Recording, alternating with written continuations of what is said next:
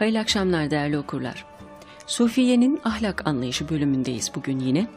Son olarak ahlakı ilahi ile ahlaklanmak kısmından bahsetti yazarımız bize.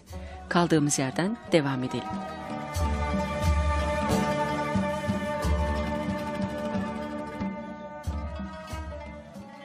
Resulullah sallallahu aleyhi ve sellem'den insanları en çok cennete sokacak şeyin ne olduğu soruldu. O, Allah'tan korkmak ve güzel ahlak diye cevap verdi. Yine insanları en çok cehenneme sokacak şeyin ne olduğu soruldu. O da gam ve ferah buyurdu. Bu gam geçici zevkleri kaçırmaktan meydana gelen gamdır. Çünkü böyle bir gam öfke ve sıkıntı doludur.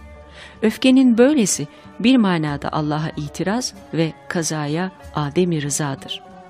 Hadiste zemmedilen ferah, geçici zevklere aldanıp sevinmektir. Başına gelecekleri önceden bir kitaba yazdık ki kaybettiğinize üzülmeyesiniz ve Allah'ın size verdiğine sevinip şımarmayasınız ayet-i kerimesiyle böyle zevklerle ferahlanmak yasaklanmıştır.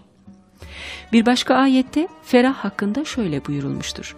Kavmi ona dedi ki, ferahlanma çünkü Allah böyle geçici şeylere aldanıp ferahlananları sevmez.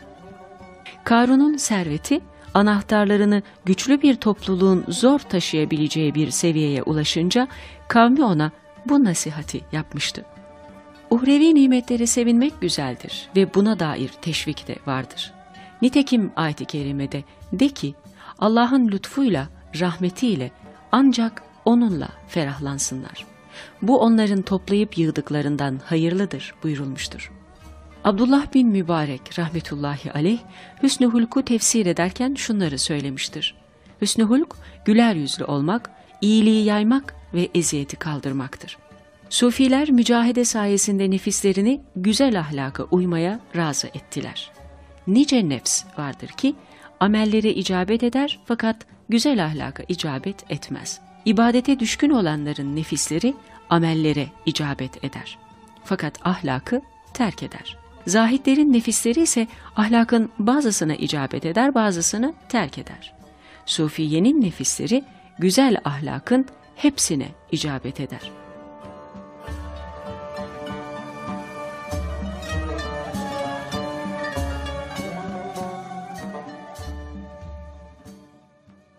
Bize Şey Zür'a icazet yoluyla Ebu Bekir el-Kettani'nin şöyle buyurduğunu haber verdi. Tasavvuf ahlaktır. Ahlaki bakımdan senden üstün olan tasavvufi yönden de senden üstündür. Abidlerin nefisleri amellere icabet eder. Çünkü onlar ibadet yoluna nuru İslam ile girmişlerdir.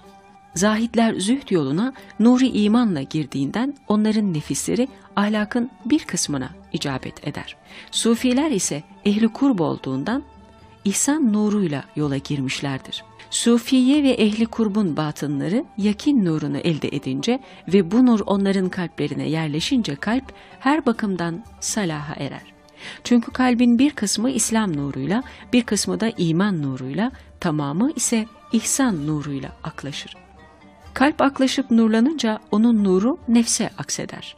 Kalbin biri nefse, diğeri ruha ait olmak üzere iki yönü vardır. Nefsin de biri kalbe, diğeri tabiat ve karaktere ait iki yönü vardır.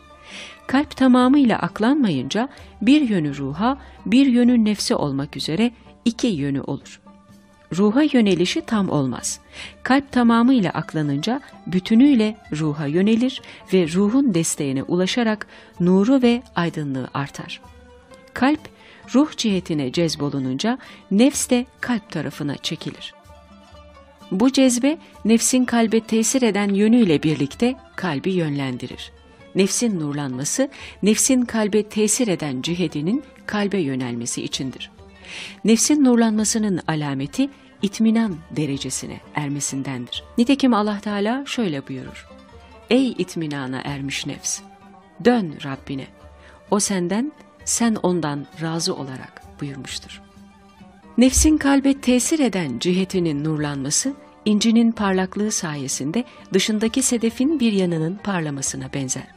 Nefiste bir zulmet eserinin kalması, nefsin tabiat ve karakterine ait bir cihetinin bulunmamasındandır. Nitekim sedefin dış kısmı içinin aksine deniz suyunun çarpması ve benzeri dış tesirler sebebiyle siyahlığını kaybetmez. İki yönünden biri nurlanınca nefs, ahlakını güzelleştirmeye ve sıfatlarını tebdil etmeye meyleder. Nefislerindeki bu tebdil yüzünden abdallara abdal adı verilmiştir. Bu işin en büyük sırrı Sufi'nin kalbinin devamlı surette Allah'a yönelik olması ve dilinin zikri ilahiye bağlı olarak zatı ilahi zikrine yükselmesidir. İşte o zaman Sufi'nin kalbi arş-ı Rahman mesabesinde olur. Çünkü arş halk ve hikmet aleminde kainatın kalbidir. Kalp de emir ve kudret aleminde arş mesabesindedir. Nitekim Sehl bin Abdullah et-Tüsteri, kalp arş gibi, sadrda kürsi gibidir der. Böyle bir hadisi kutsi varid olmuştur. Ben yere ve göğe sığmadım fakat mümin kulumun kalbine sığdım. Kalp, zat-ı ilahi zikriyle canlandığı ve kurp duygusunun latif rüzgarıyla dalgalı bir deniz olduğu zaman, nefsin ahlak kanallarından tertemiz huylar ve güzel sıfatlar akmaya başlayarak ahlak-ı ilahi tahakkuk etmiş olur. Şeyh Ebu Ali Farmadi'nin şeyhi Ebul Kasim el-Gürcani'den naklen anlattığına göre o, 99 Esma-i İlahiye sülüke giren bir kulun vuslat mertebesine ermediği halde sıfatları haline gelir demiştir. Şeyh bu sözüyle kulun Cenab-ı Hakk'ın Esma-ı Hüsna'sından her birini beşerin kusurlu ve zayıf haline uygun düşecek tarzda sıfat olarak alabildiğini kastetmiştir. Mesela kulun Esma-i İlahi'den Rahim isminden alacağı insan olmanın kusur ve noktası ölçüsünde rahmet ve merhamettir. Meşayihın en şerefli ilimleri sayılan esma ve sıfat-ı ilahiye konusundaki işaret ve rumuzları aslında hep bu manayadır. Onların bu işaret ve yorumlarını hulul ve ittihat olarak vehmedenler küfür ve zındıklığa düşerler. Resulullah sallallahu aleyhi ve sellem Muaz radıyallahu anha güzel ahlakı anlattığı tavsiyesinde şöyle buyurmuştur. Ya Muaz, sana takvayı, doğru sözlülüğü, ahde vefayı, emaneti yerine getirmeyi, hıyaneti bırakmayı, anlaşmayı muhafaza etmeyi, yetime şefkat göstermeyi, yumuşak huylu olmayı, selamı yaymayı, güzel muameleyi, emelleri azaltıp amellere yönelmeyi, imana sarılmayı, Kur'an'ı inceden inceye anlamaya çalışmayı, ahireti sevmeyi, hesaptan korkmayı, şefkatli ve merhametli olmayı tavsiye ederim.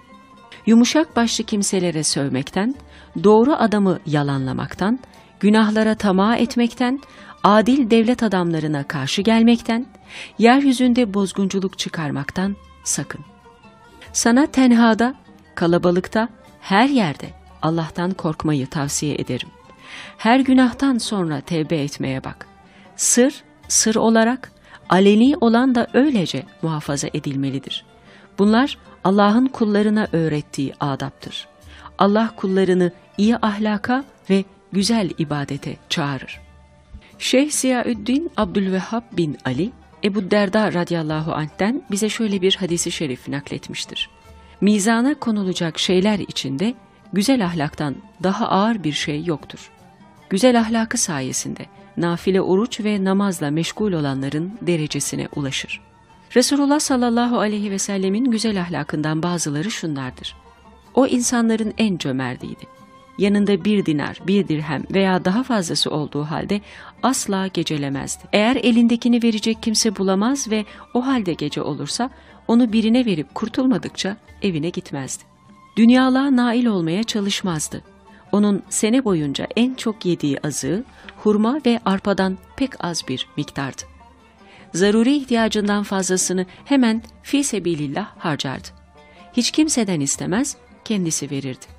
Başkalarını kendisine tercih ederek isteyenlere senelik azığını verir, kendisi o yıl içinde muhtaç duruma düşerdi. Ayakkabılarını tamir eder, yırtığını diker, ev işlerinde ailesine yardımcı olur, onlarla birlikte et doğrardı. İnsanların en hayalısı ve en alçak gönüllüsüydü. Allah'ın salatu selamı onun, ehli beytinin ve ashabının üzerine olsun.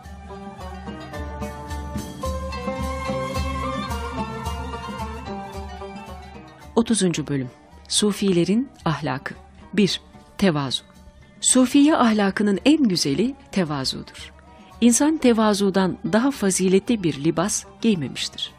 Tevazu ve hizmet hazinesin, tevazu ve hikmet hazinesine nail olan herkese layık olduğu değeri verir. Herkes de ona layık olduğu saygıyı gösterir. Tevazudan nasibini alan gönül rahatlığına erer. Fakat bunu da ancak ilim sahipleri kavrayabilir.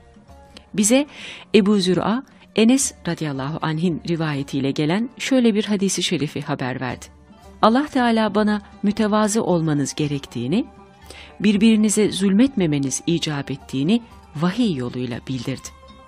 Peygamberimiz sallallahu aleyhi ve sellem, söyle Habibim, eğer siz Allah'ı seviyorsanız bana tabi olunuz ayet-i kerimesi hakkında iyilikte, takvada, korkuda ve nefsi zelil kılma hususunda bana tabi olunuz buyurmuştur.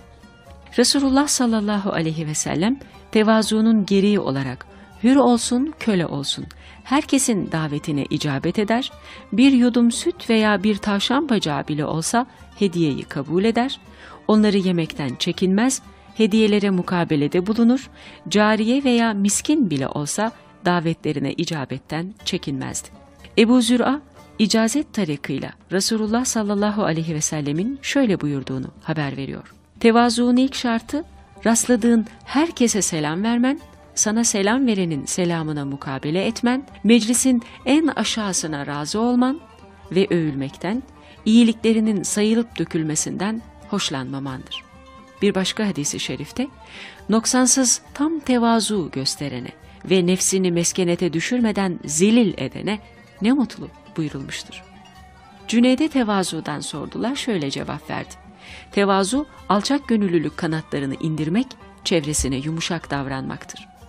Aynı sual Fudal bin İyad'a soruldu. O, Hakka karşı hudu ile boyunu bükük olmak, söylenene kulak verip kabul etmektir diye cevap verdi.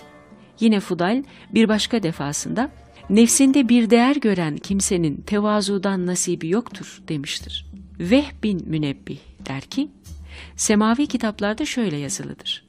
Ben Adem'in sülbünden onun zürriyetini çıkardım ve onlar içinde en mütevazı olarak Musa aleyhisselamı buldum ve bu yüzden onu kendime Kelimullah seçtim.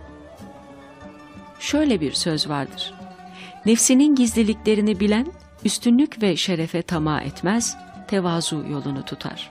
Kendisini zemmedene düşmanlık etmez, methedildiği zaman da Allah'a şükreder. Ebu Hafs der ki, kalbinin tevazu hisleriyle dolu olmasını isteyen salihlerin sohbetine devam etsin ve onlara hürmette kusur etmesin. Kişi salihlerin aşırı tevazu sayesinde onlara uyarak büyüklük gösteremez.